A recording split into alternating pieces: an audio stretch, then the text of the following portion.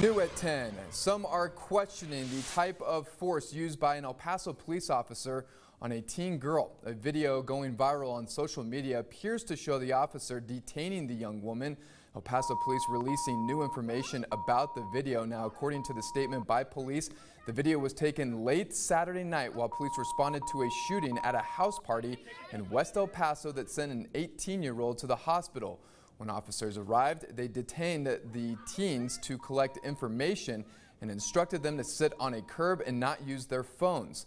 After being asked more than once, they say the officer arrested a female teen for interfering with the investigation. Two teens, a boy and a girl, were arrested and charged with resisting arrest and interfering with public duties.